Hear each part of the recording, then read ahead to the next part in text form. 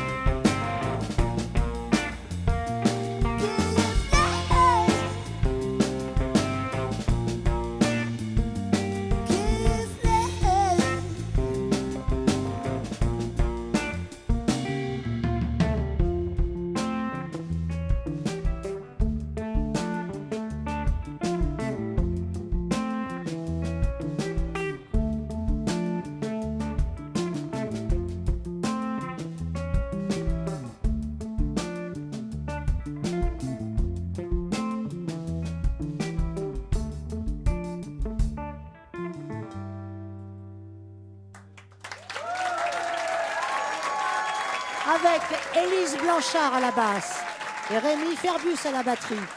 Mélissa Lavo, guitare et chant.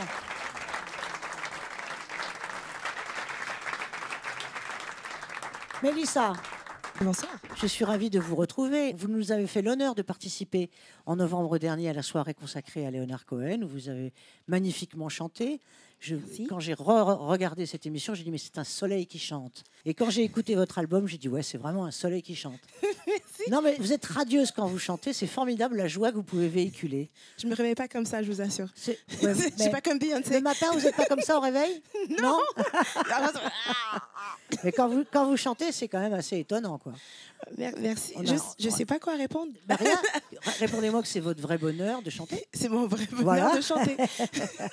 Donc vous êtes là ce soir parce que votre troisième album est, est sorti il y a quelque temps. Euh, un, un troisième album qui vous tient particulièrement à cœur. C'est un album très personnel euh, puisque c'est un album qui est issu de de- d'un voyage que vous avez fait dans votre pays euh, d'origine, Haïti, et que vous avez été, euh, je dirais pas choqué, parce que vous connaissiez déjà, bien sûr, le répertoire haïtien, à travers une chanteuse qui s'appelait, qui s'appelle Martha Jean-Claude, que vous avez adorée, et qui vous a vraiment replongé dans vos racines. Mais quand vous êtes allé là-bas en Haïti, là, ça a été le choc, et là, vous avez dit, il faut que je fasse un album qui parle de ça et qui surtout transmette cette culture, parce que aussi, si on transmet pas les cultures, elles meurent.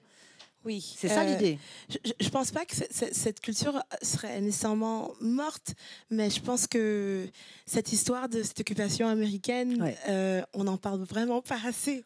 Ça, c'est sûr. Et je trouve qu'à à- à l'époque où on est, 100 ans plus tard, euh, il y a pas mal de choses qui sont encore d'actualité. on, on- on- on parle plus de l'occupation des Duvaliers, de Duvalier et de Papadoc que de, que de l'occupation américaine qui, qui a quand même vécu pendant quelques années là-bas, 20 ans, hein, quelque 20 chose comme ans. ça, hein, voilà. Alors justement, qu'est-ce qu'il en reste de cette euh, occupation américaine euh, dans la culture haïtienne? Euh, ben, il reste encore pas mal de militaires, il reste Il pas a mal d'ONG. militaires. Il y a des Il y, a- il y militaires. a toujours des militaires. Il y a des bases américaines, militaires américaines un peu partout au monde, euh, Ouais. notamment en Haïti. Ouais. Euh, il y avait une amie qui me racontait, il y avait des- après, le, après le tremblement de terre, il y avait des adolescentes qui est tombées enceintes de Mhm. militaires et les bébés s'appelaient USNAV pour US Navy. Ah oui. ah, il fallait aller le chercher, le prénom, là, quand même. Hein. Yustav, fou. Euh, et, et du coup, il y a, ouais, y, a- il y a, il y a cette présence militaire euh, euh, américaine qui est encore là. Il y a des ONG qui ont une place assez dominante.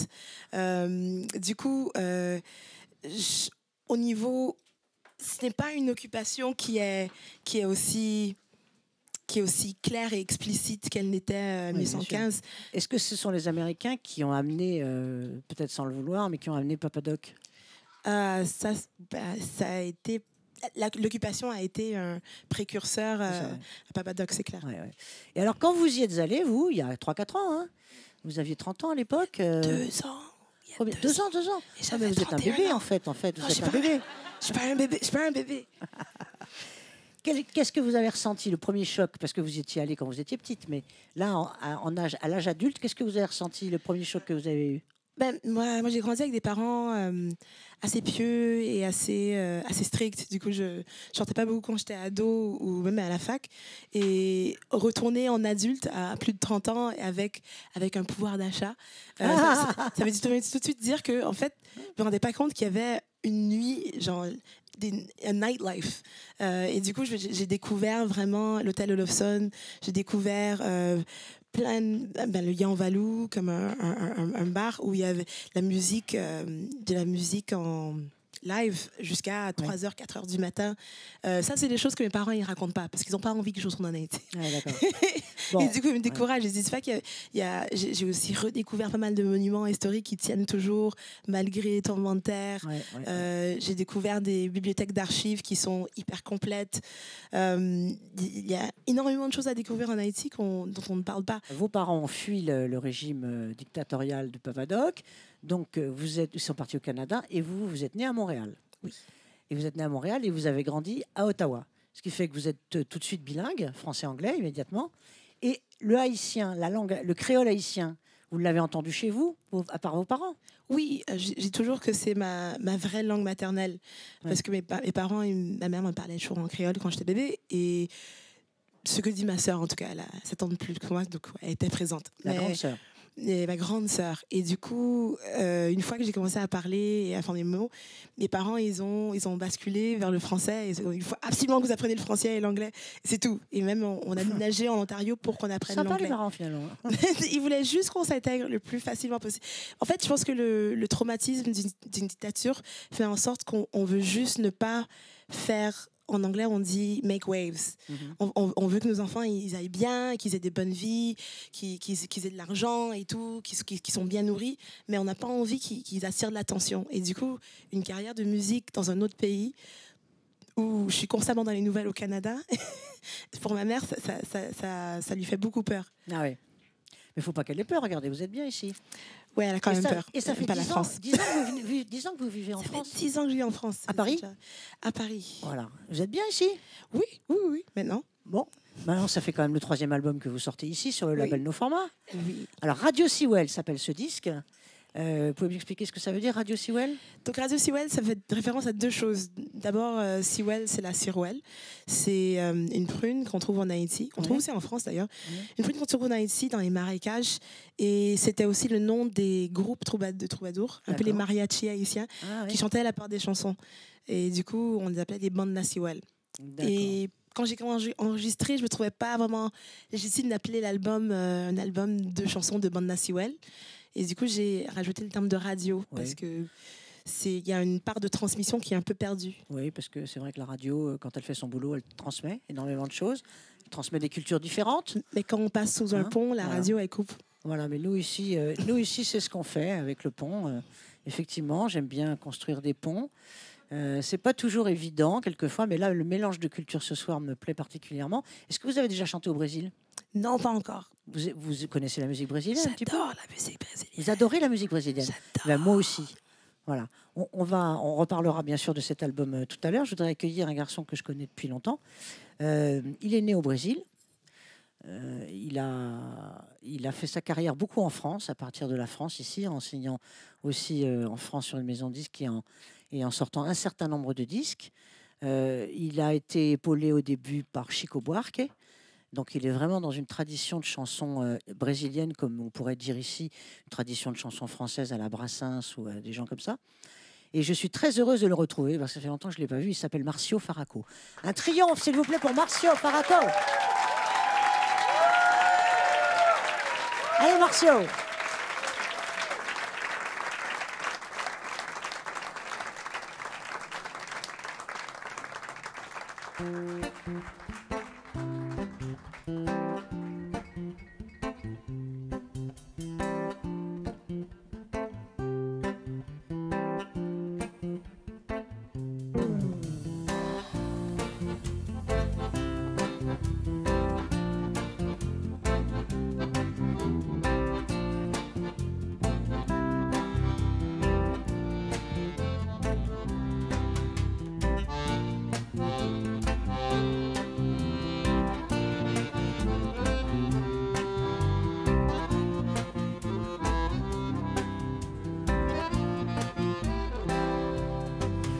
Kelam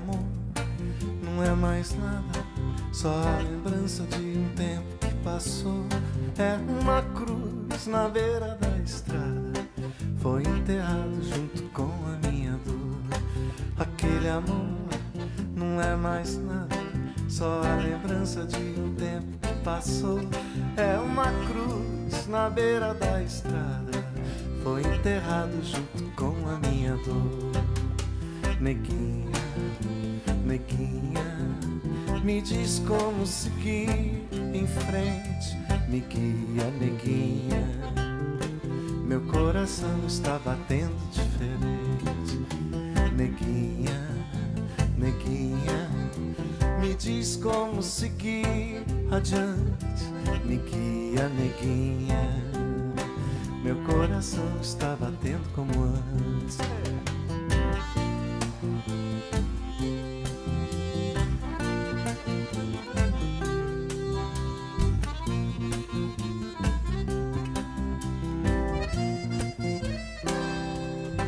Eu vivo agora com um presente que o destino me deu. Como um raio de sol ficou tão claro, tão evidente. Eu tava andando Neguinha, neguinha, me diz como seguir em frente. Me guia, neguinha, meu coração está batendo diferente. Neguinha, neguinha, me diz como seguir adiante. Me guia, neguinha. Meu coração está batendo como antes. Eu vinha de tão longe, tudo deixando pra trás, trazendo dentro do peito um vazio e tristeza demais. Fui buscar a minha vida, cheguei aqui em pedaços, adormeci no seu ombro, acordei feliz nos seus braços. Neguinha, neguinha, me diz como seguir adiante, me guia, neguinha. Meu coração está batendo como antes. Neguinha, neguinha, me diz como seguir em frente. Me guia, neguinha. Meu coração está batendo diferente.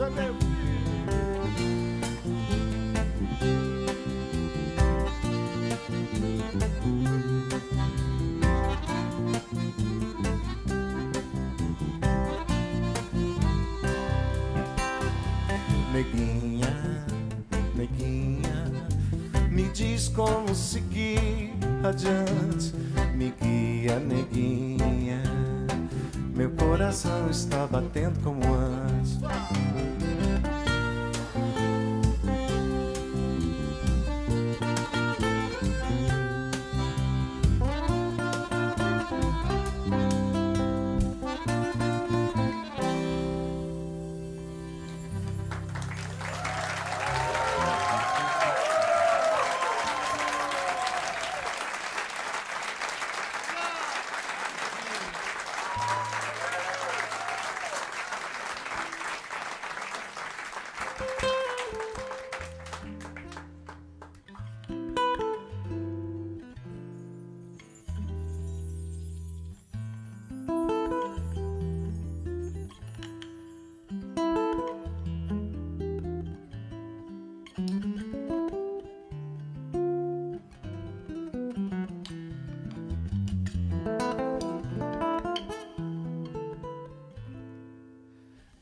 Casa do meu avô, seu Humberto Faraco.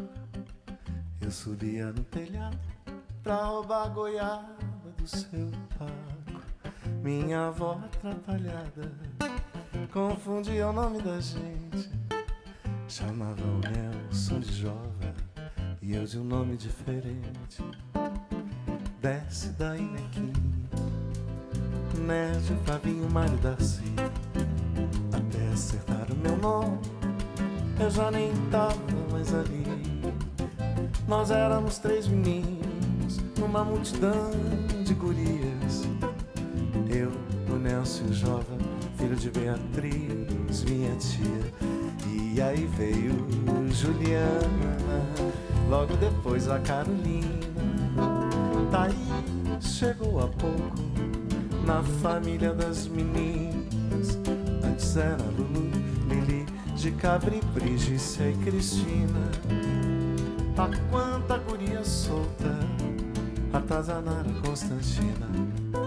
Eu me lembro desse tempo, Guilherme não tinha nascido. Na cristaleira todos os doces, antes do almoço era proibido. Eu vou contar agora, que ninguém nunca revelou. A chave da cristaleira ficava em cima do armário do vô. E aí veio Juliana, logo depois a Carolina. Thaís chegou há pouco na família das meninas. Antes era Lulu, Lili, Gicabri, Brigitte e Cristina. A quanta guria solta, atazanara Constantina. E aí veio Juliana.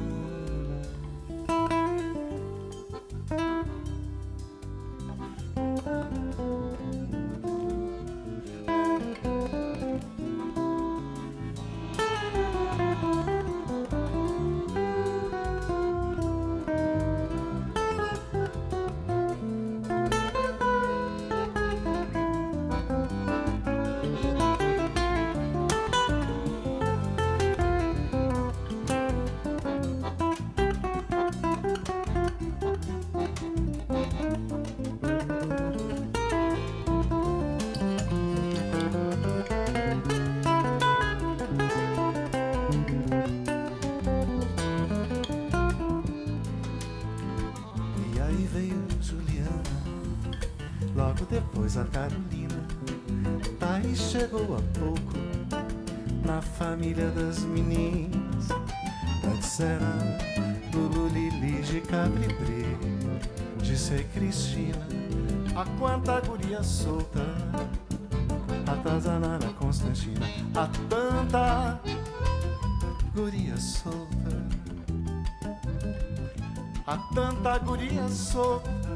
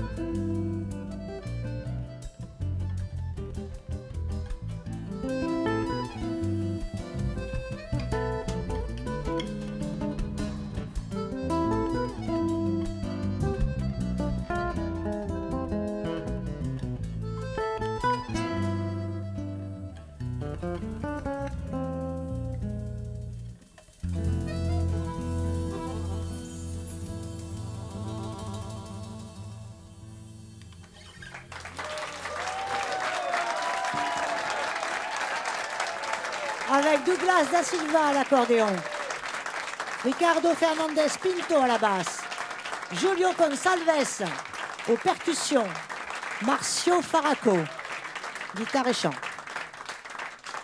Ah, mais ça fait du bien, Marcio, d'entendre, de réentendre ces chansons. Merci. Merci, à- Merci à, toi d'être venu, parce que tu étais encore au Brésil il y a deux jours. hein. Oui, oui, c'est moi qui ai apporté tout le soleil qu'il y a C'est là. ça. Tu nous as apporté rien d'autre, euh, je veux dire ça. Bah, j'ai laissé la pluie là-bas, en fait. Ouais. Euh, Ouais. Et, et ça va bien au Brésil en ce moment? Le temps, Non, non, le reste, tout le reste. Je crois que c'est pire dans qu'en la France. politique, pas trop. Ouais, c'est, oui, n'importe quoi un peu. hein. on, ouais, on perd beaucoup de choses. En, très peu de temps, on perd beaucoup de choses, beaucoup d'avances sociaux. Mais bon, c'est, triste de parler de ça. Bon, ça me fait plaisir effectivement euh, de te retrouver ici. Tu as chanté des chansons d'un album qui est sorti au tout début de ta carrière. Siranda, c'était le premier album? Oui, c'était le premier al- album que j'avais fait sur Universal Jazz. Oui, et maintenant, euh, tu es en train d'enregistrer un autre album. Ça sera le combien Alors, quatrième, cinquième? Euh, Sixième? C'est le, euh, euh, le... Quatrième. Non, le huitième peut-être. Le, déjà? Eh Huit oui. albums? Ben oui. Ah oui, t'as pas rien fait quand même. hein. Oui, euh, en fait, j'avais commencé avant de faire le premier, j'avais fait un par euh, euh, Captain Crochet Record. C'était tout pirate, en fait. Ah oui. oui, et j'avais sorti moi-même. Je pense que même ma mère n'a pas celui-là. Et C'est sorti très peu. Et après, j'avais fait les autres euh, avec des grandes maisons. Mm. Mais j'ai jamais arrêté parce que j'avais, je, je signais très tard. hein. Je, je suis musicien depuis longtemps et j'ai signé très tard. Donc j'avais tout cette bagage de chansons à faire sortir. en fait. Mhm. Euh, Mélissa, qu'est-ce que ça vous évoque quand, quand vous entendez de la musique brésilienne comme ça? Ah, ça C'est mes, mes premiers... la première fois que je, je voulais jouer en finger picking, Ah en oui fingerstyle, c'est en écoutant la musique brésilienne. Mhm. J'écoutais beaucoup Adrien Calcanoche, euh, notamment, euh, que je trouve qu'il est super guitariste et tout. Mhm. Et j'ai- la première fois que j'ai entendu Marcio, c'est à travers Laurent Bizot de, de nos formats, justement. Oui, donc vous, vous le connaissiez déjà? Je connaissais euh, un des Ah, premiers Je ne albums. savais pas. Par Laurent aussi, je t'ai entendu. Tu Oui. vois, c'est Laurent, c'est terrible, lui. Donc voilà. Et, et puis sur vos albums, vous avez assez régulièrement chanté des chansons en français. Oui, à chaque fois que je chantais une ou deux, euh, je euh, je m'essayais pas trop dans l'écriture des, des paroles parce que quand même, même si on connaît très bien la langue, même si je parle, euh, Très bien, très bien français. c'est très gentil. Mieux que je ne parle brésilien, par exemple. tu vois. Oui, oui, oui, ça. oui. Par contre, quand je dis bonjour, tout le monde dit ah, t'es brésilien, tu vois. j'ai- Euh, déjà avec un- l'accent est déjà très.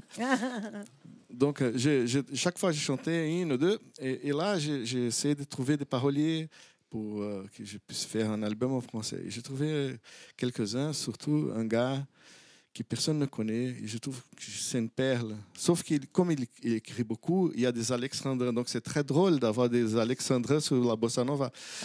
Ah, c'est ça. Mais c'est Ça pas être commode. hein. Oui, c'est pas commode. ouais. Qui c'est? Je peux savoir qui c'est? Philippe Tivet. Ah, c'est un très, très bon, euh, poète. ouais. Et euh, donc je l'ai connu et on a commencé à faire des chansons ensemble. J'ai fait plusieurs, 8, 9, je sais pas combien. Et après, j'ai pris quelques chansons avec Didier Soustrac, avec euh, euh, Dominique Dreyfus, Ah oui, elle a été beaucoup. Alain Gerbert. Elle a été beaucoup pour euh, les débuts de votre carrière aussi Oui, en France. Dominique, hein. oui. Parce que quand, euh, quand Laurent Bizot avait euh, proposé à Daniel Richard mes chansons, euh, Daniel lui a dit Mais c'est joli, mais je comprends rien à ce qu'il dit. Et Dominique, elle a, elle a appelé pour dire que Elle a les traduit, paroles elle a, étaient pas elle a mal. expliqué les chansons. Elle a, voilà. Et là, effectivement, elle vous a écrit euh, des textes pour cet album. Ouais, pour cet album, oui. Donc j'ai plusieurs textes. Euh, je commençais à écrire l'album, mais j'ai une tendinite, j'ai trop de concerts et j'ai, et- j'ai cassé un peu mon doigt.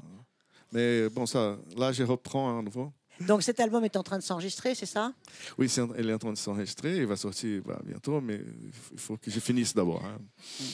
Et donc sur scène, vous chantez un petit peu en français des fois. Et là, euh, vous avez envie de, vous avez eu envie de, de chanter une reprise. Oui, parce qu'en fait, cette chanson-là est dans l'album aussi. Elle sera dans l'album. oui. Ouais. Elle sera dans l'album. Et c'est une chanson que j'ai mis à la moitié, hein, parce que j'aime les moitiés des paroles, pas l'autre moitié. Et- mais c'est en tout cas moi. Ça hein. s'appelle une demi-chanson. C'est une demi-chanson. Je chante qu'un bout. J'avais enregistré une chanson de- d'Edith Piaf, et de Michel Emer, en fait. Oui. À quoi ça sert l'amour? Oui. J'ai aussi euh, euh, chanté un bout, parce qu'à un moment, elle cite. elle Il cite- chante que des bouts de chansons en Bah fait. oui, elle- elle- mais elle cite en blonde. Comment je veux dire ça, moi Oui. Tu vois, à- à la- au milieu de. voilà. Donc, je ne l'ai pas dit. Et là, c'est la moitié de la chanson. En fait, c'est la chanson, c'est. Je le dis Bah évidemment. Ouais. C'est que- ça s'appelle Que je t'aime. Vous- vous- et vous- Et je avez- l'ai, je l'ai mis à la moitié parce qu'au moment où il devient un cheval mort sur elle, j'aime pas. C'est sûr. en fait, quand les paroles vous plaisent pas, vous les chantez pas quoi. Ah non, cette partie-là, non. Il est incroyable. Hein. Fait ce qu'il veut ce garçon. C'est pas beau un cheval mort. hein, Je peux vous poser une, femme. question Je peux vous poser une question Est-ce que, est que vous avez eu euh, envie de chanter cette chanson, de la reprendre avant ou après la mort de Johnny Avant, je l'ai, je l'ai enregistré depuis longtemps et, et j'avais déjà, je les chante depuis longtemps parce qu'en en fait, j'essaie de faire la, la même technique de, de Jean Gilberto. J'ai tout ralenti un peu, j'ai mis euh, notre harmonie pour pouvoir lui donner, le ramener à ma plage en fait. hein. Ouais. Et, mais quand je suis arrivé au cheval mort, j'ai dit non, non, là non. Bah, là, je vais avoir un problème avec les paroliers, bah, mais je suis sincère. Bon. Bon. Allez, Marcio, on y retourne. On fait ça Ouais, bah, la moitié de Que je t'aime, donc. Et... Une autre chanson qui est issue de Siranda, qui s'appelle Vida ou Game. Marcio Faraco avec ses musiciens, en direct du Triton pour le Pont des Artistes.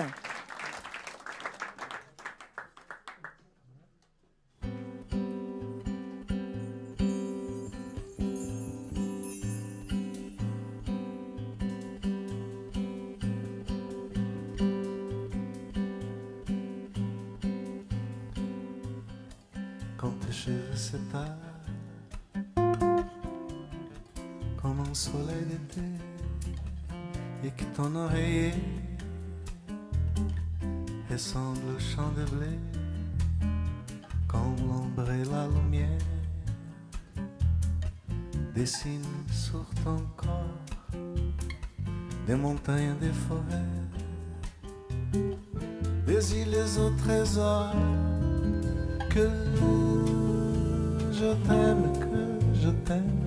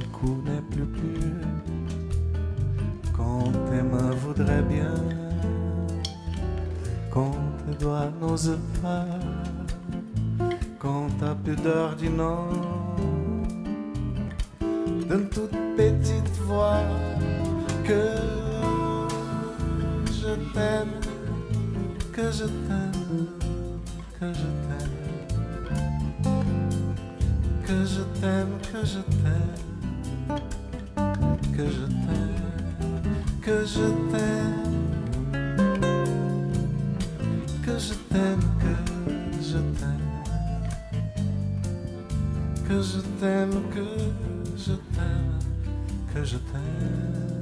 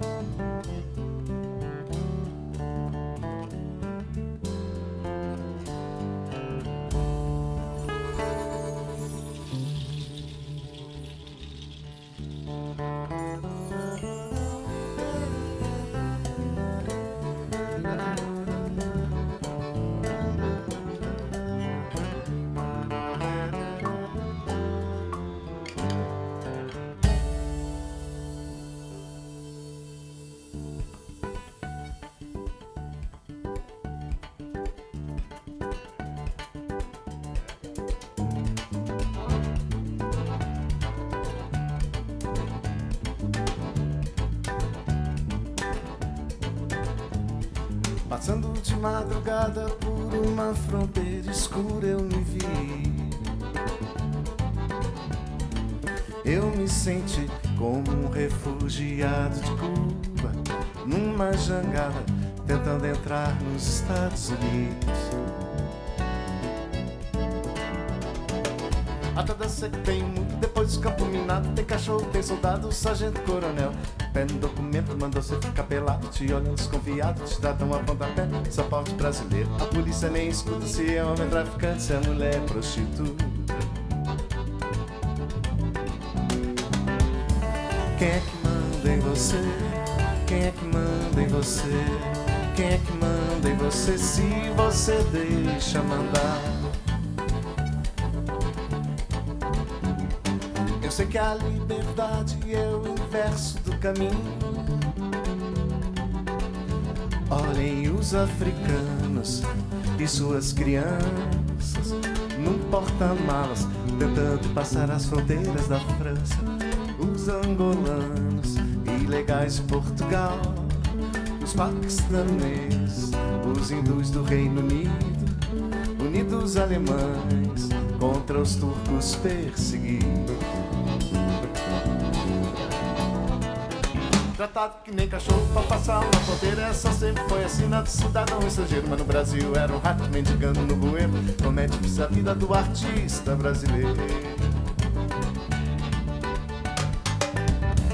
Quem é que manda em você?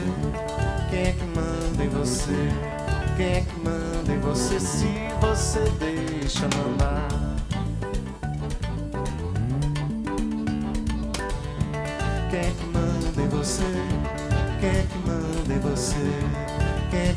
Manda em você se você deixa mandar?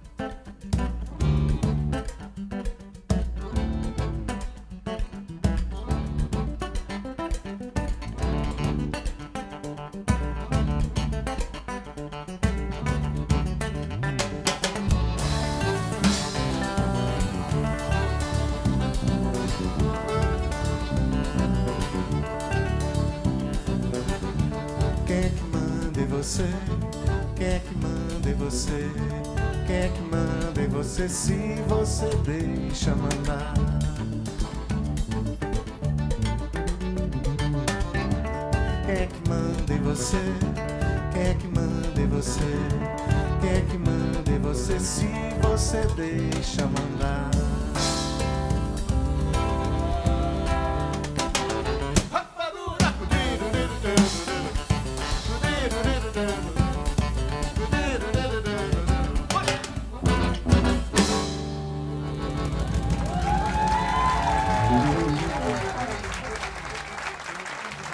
Marcio Faraco. Julio González aux percussions. Douglas Da Silva à l'accordéon. Ricardo Fernandez Pinto à la basse. Marcio Faraco.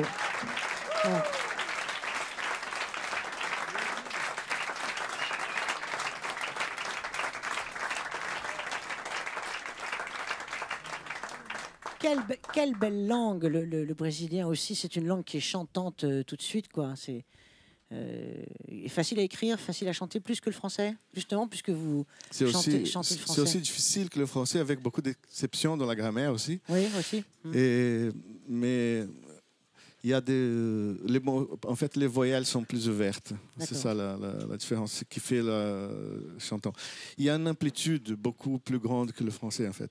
C'est pour ça que les Brésiliens ne disent pas s'il te plaît, parce qu'en fait, elle est déjà dans l'intonation, parce que l'amplitude de la langue est très grande. Donc, on, on demande quelque chose et on fait Ah, ah, c'est déjà. Il y a déjà le s'il te plaît ça. dedans. D'accord. Euh, Est-ce que le créole haïtien est facile à chanter, euh, Mélissa Lavo Définitivement. Je trouve que c'est une langue qui. Veut Définitivement, dire. euh, c'est une langue qui se prête très très bien au chant Ouais. et qui a aussi ses, ses inflexions, ses sonorités. Euh, J'adore en fait en créole quand les gens ils rajoutent oui pour ponctuer une phrase à un mot. Ouais. Genre, euh, euh, ben, genre, genre, définitivement oui. Et, et toujours oui. Euh, et, et, et ça, ça, ça peut juste être pour souligner euh, euh, quelque chose. Ça peut être ou des fois les gens ils répètent des mots pour, pour souligner au lieu de dire très. euh, ils vont répéter ce mot deux ou trois fois dans la phrase Ouais. euh, de suite. Euh, la créolisation, c'est- l'apport d'une culture vers une autre culture. C'est encore plus fort que le métissage. Est-ce que vous pouvez écrire en, en créole? Euh, moi, j'écris en créole depuis le premier album. Ouais. J'écris pas super bien en créole, mais j'écris en créole depuis le premier album parce que je, je voulais écrire une chanson de mes parents et je voulais leur prouver que, que leur culture me, me tenait à cœur. Ouais. Et, et du coup, j'ai décidé d'écrire quelque chose en créole. Et après ça, j'ai commencé à me pencher plus sur la littérature créole et plus sur des, des guides et des, des- des livres de traduction. Comme ça, je pouvais un peu mieux euh, naviguer la langue. Est-ce que dans le créole actuel, il reste, il y a des restes de la de l'occupation américaine? Est-ce qu'il y a des restes de français puisque les Français y sont allés au 19e siècle, 18e siècle? Est-ce qu'il reste quelque chose de, des autres euh, des envahisseurs, je dirais Euh, il, il reste, c'est clair qu'il reste pas mal de, de vestiges français et, et un peu moins d'anglais. Euh, je sais que c'est une, langue où on retrouve des, des traces de Ewe, euh, de Yoruba, Mhm. de langue du. Bénin aussi. C'est vraiment la côte, c'est l'Afrique de l'Ouest. Euh, et des fois, c'est même pas le mot, des fois, c'est la syntaxe. Oui. Et des fois, c'est l'intonation et les inflexions dans la langue.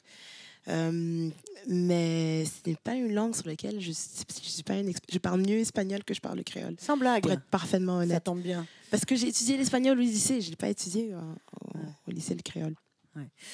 Euh, on va justement accueillir quelqu'un qui va chanter en espagnol. Je l'ai dit ce soir, on va s'ouvrir au langage du monde, puisque tout est chantant finalement. Je ne sais pas s'il n'y a pas une langue qu'on peut. Je pense qu'on peut chanter toutes les langues. Certainement, peut-être qu'il y a des dialectes africains qui sont plus compliqués, mais certainement qu'on peut chanter en toutes les langues.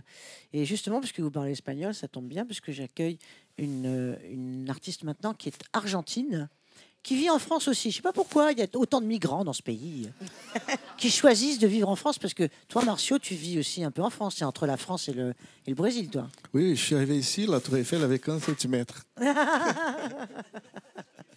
Donc voilà, comme quoi c'est bien quand même qu'on accueille des, des gens hein, d'autres pays, parce que ça nous donne des beaux artistes et beaucoup de talents à découvrir. Et c'est bien qu'on se mélange et qu'on s'ouvre un peu à tout le monde. Alors voilà, les musiciens sont en train de se mettre en place. Cette jeune chanteuse euh, n'en est pas à son premier album.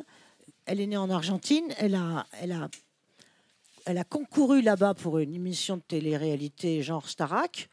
Ça lui a pas fait du bien, mais ça, si elle m'avait interrogé avant, je lui aurais dit.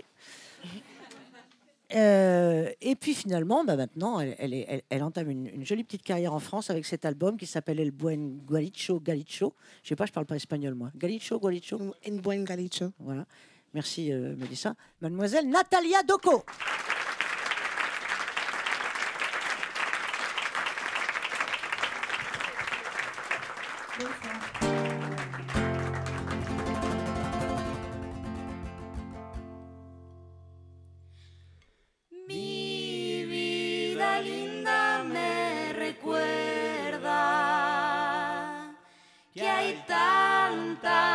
florcita fumar. Y se invitó a la cumbia.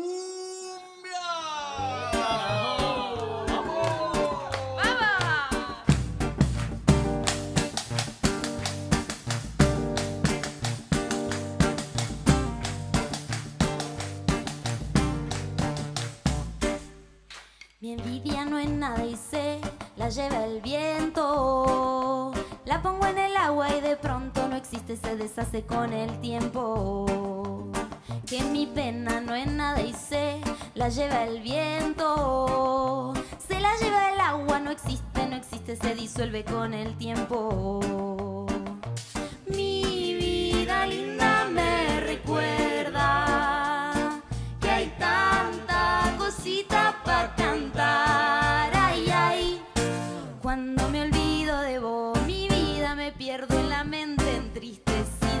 Ay, vida linda, cuando te recuerdo, mi alma florece de encanto. Y un rayo de luna transforma mi canto, le canto a la luna, mi gualicho santo. Lejos la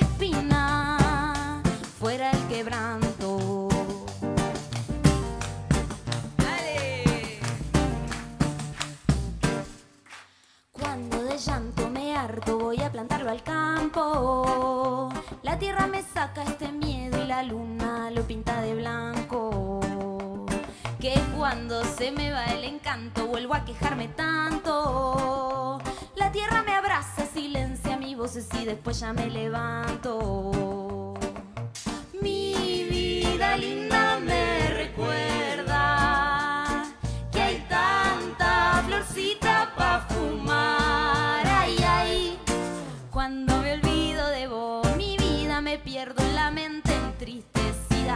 Ay, vida linda, cuando te recuerdo, mi alma florece de encanto.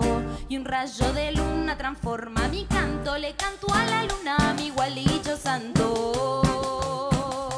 Lejos la espina, fuera el quebranto. No tiene corazón, el bicho en mi cabeza no tiene compasión y no quiere salir, él no. Tiene corazón, apenas amanezca, no. Tiene compasión, lo vamos y lo vamos y lo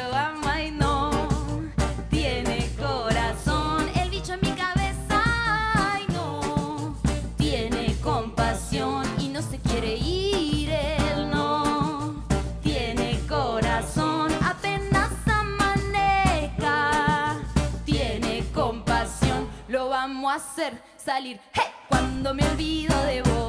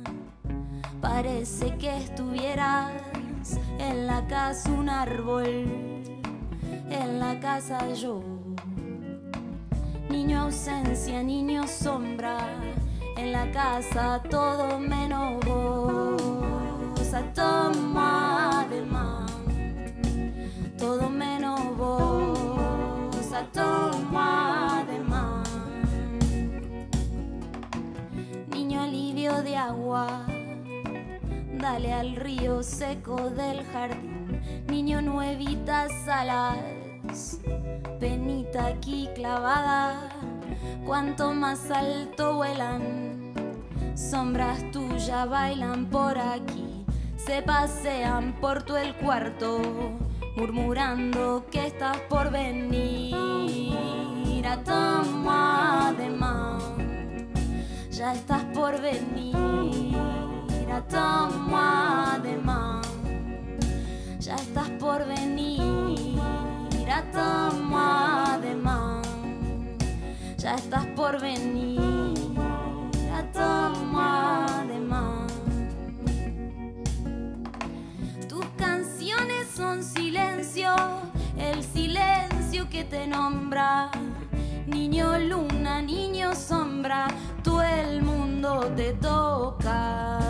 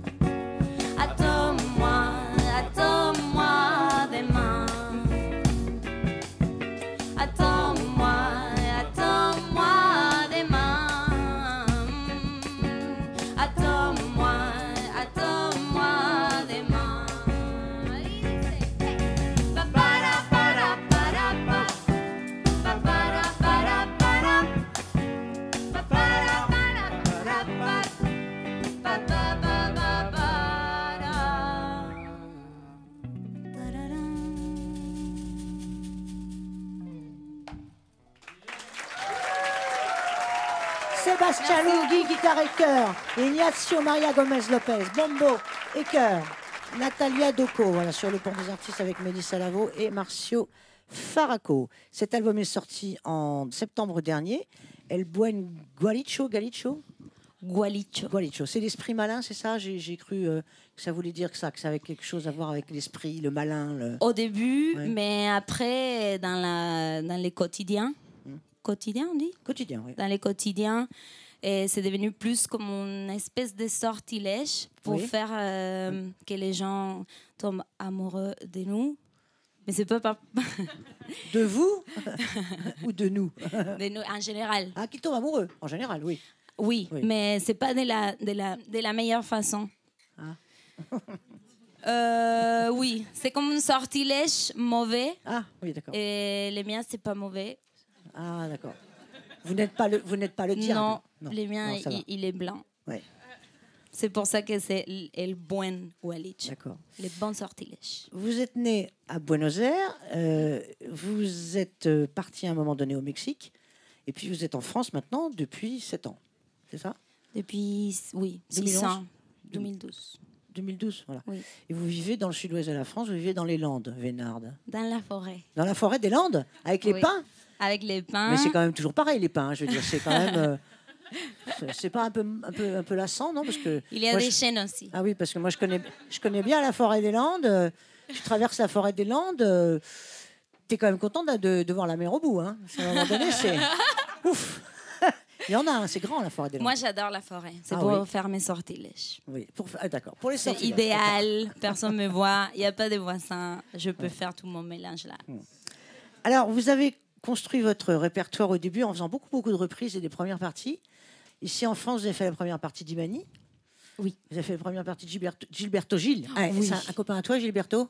Pardon? C'est un copain à toi, Gilberto? Oui, bien sûr. Gilberto Gilles L'ancien ministre de la Culture? Très bien. Très, très bien. Ouais, je le connais aussi, il est super. Donc ça a été formidable, ces, part- ces parties-là. Puis vous, vous avez chanté des chanteurs français. Oui. Aznavour, tout ça. Aznavour, j'aime bien Aznavour. En fait, au début, c'est vrai, quand on essaie de construire un, répertoire, on fait d'abord des reprises, on s'identifie un petit peu, on a envie de, de- de chanter plein de choses différentes. C'est ça aussi, quand on démarre. C'était pas tout à fait pour ça que j'ai fait autant de reprises, mais C'est parce que quoi? C'est parce que vous avez chanté dans, les, dans, les, dans la, télé, la télé-réalité? Non, c'était Non. pas ça. C'était quand j'étais hyper euh, jeune. plus. plus super jeune. non, non, j'ai fait des reprises parce que j'étais signée avec un label que peut-être il n'y avait pas trop de confiance sur mes chansons. Mhm. Euh, et j'ai dû faire. euh, bah, j'ai dû faire. J'ai choisi de faire des concessions parce que je voulais aussi être euh, signée. C'était un peu mon rêve. Mhm. C'était mon rêve. Pas un peu. Et donc, du coup, à ce moment-là, euh, j'étais pas loin d'arriver à la trentaine. Et comme on habite dans Ouais, un monde. c'est vieux, la trentaine, c'est vieux. Qu'est-ce que c'est vieux, 30 ans? C'est vieux, hein? C'est terrible. c'est horrible. hein? Comme on habite dans un monde un peu euh, où pour les vieux, il n'y a pas la place. À cette époque, ouais. Non, non, mais c'est vrai, c'est vrai. Malheureusement, t'inquiète pas, mal- mal- la- pas, la vieillesse, pas elle est place pas valorée. plus, alors, euh, elle n'est pas valorée comme euh, ça devrait Valorisée, être. oui. Valorisée. ouais, D'accord. Et donc, du coup, à cette époque, euh, j'ai trouvé euh, une bonne décision, que ce n'est pas la décision que je prendrais aujourd'hui, non Et puis vous avez rencontré un, un type incroyable que j'ai bien connu, que tous les gens du métier ont bien connu, qui s'appelait, puisqu'il est décédé, Rémi Kolpakopoul, Oui. le connexionneur, le mec génial, qui, qui, euh, nous a fait découvrir des tas d'artistes du, du- du monde entier, y compris des Brésiliens. Enfin, c'était le connexionneur. Il faisait la connexion, effectivement, entre les artistes et les gens du métier. Il était génial. Et vous l'avez rencontré, Rémi. Et c'est lui qui vous a vraiment euh, présenté les bonnes personnes, je dirais. Oui, hein. exactement. J'ai dû Ouais. attendre euh, quelques années et finalement, grâce à lui, euh, j'ai pu réaliser mon rêve, que c'était Ouais. travailler avec Axel Krieger, que Mhm. c'est quelqu'un que j'admire depuis un bon moment. Mhm. Et c'était magnifique. Alors, vous êtes auteur, compositeur, interprète. Euh, je l'ai dit, vous êtes euh, argentine.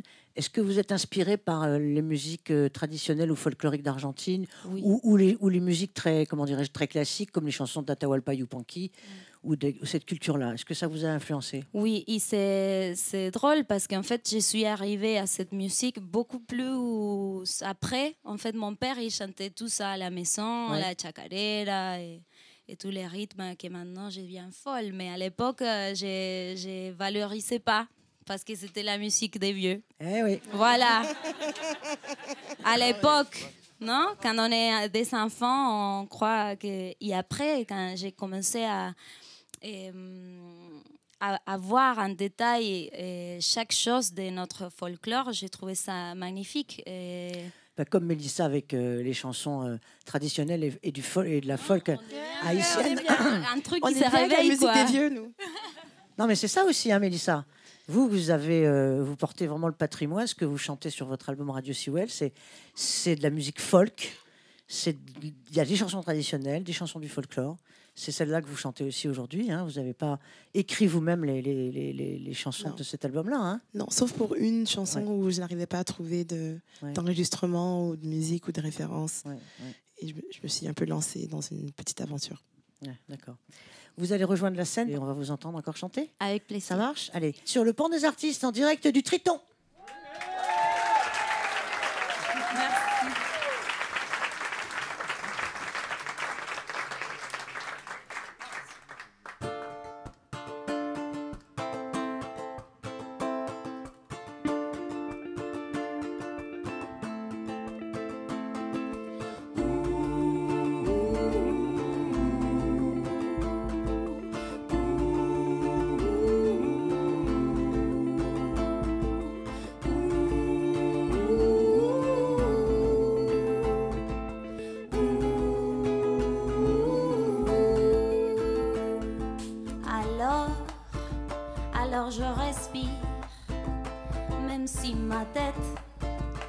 Plus y croire.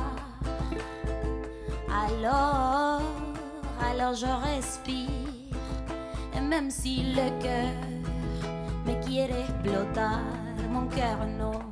Alors, alors je respire,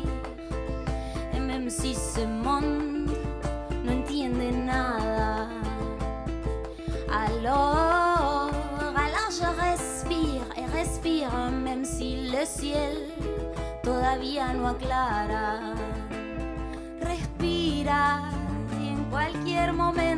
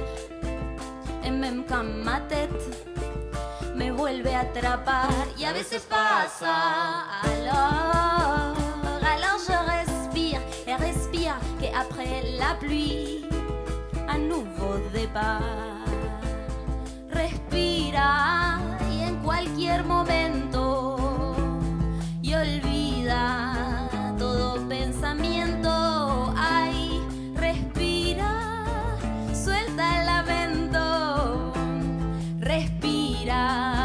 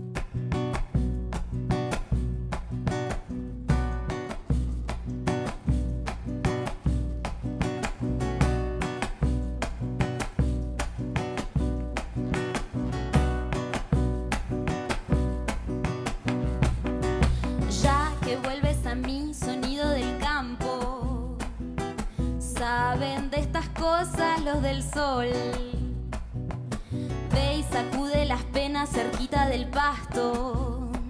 Pon tu mano pa' que te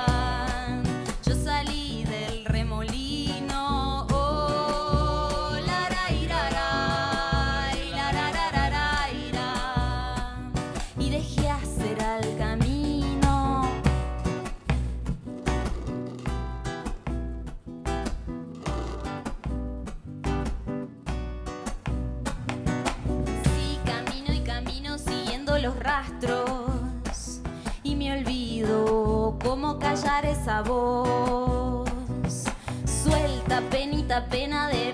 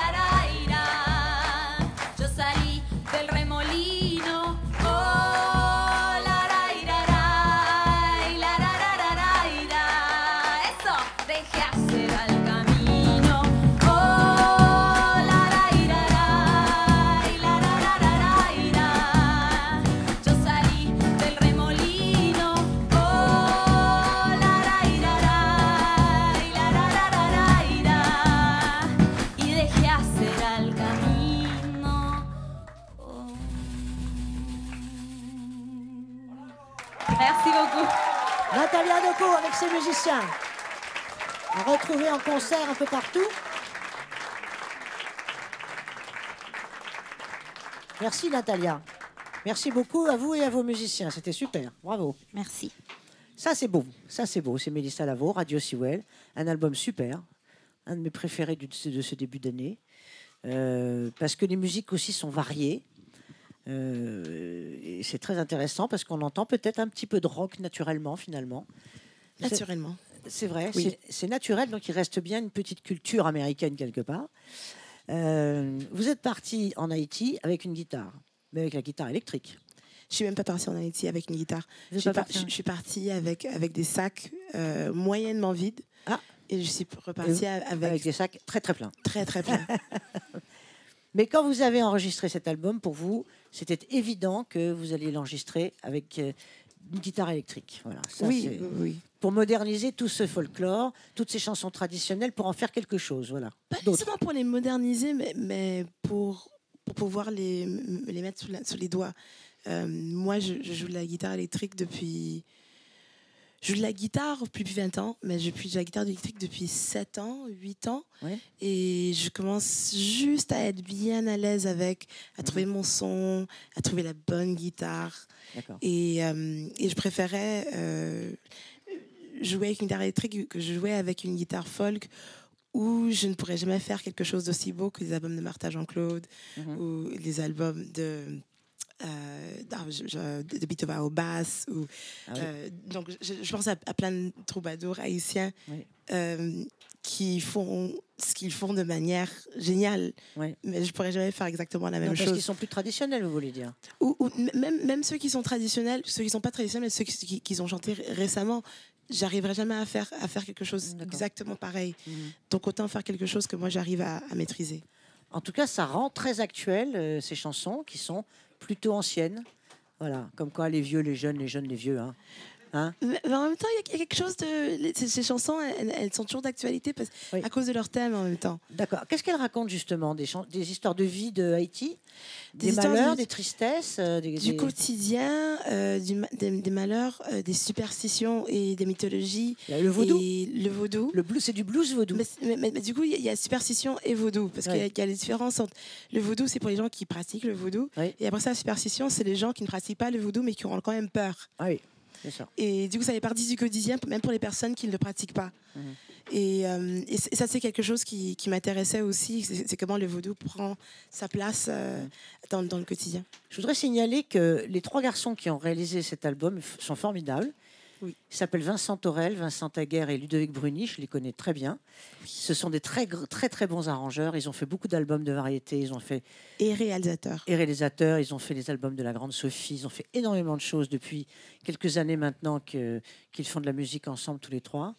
Et donc, euh, il a été très bien enregistré cet album. Il vous a laissé une grande part de, euh, de- pour votre voix, pour, euh, pour la guitare et, et pour votre expression, qui est très très forte sur, ce, sur ces chansons-là. Merci. Et, et- et vous avez une présence incroyable. En plus, la pochette est super belle.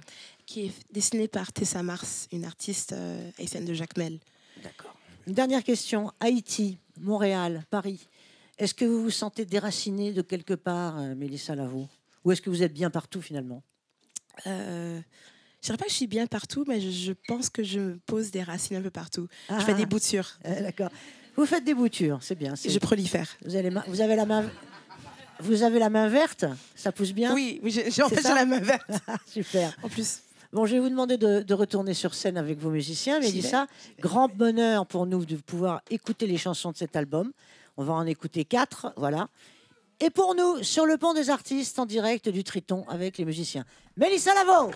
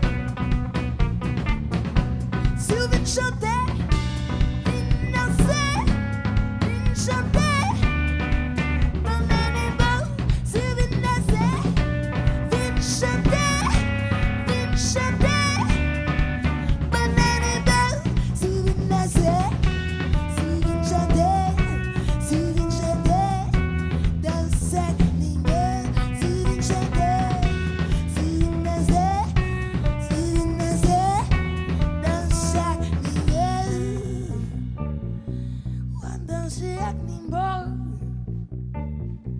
When is the ending?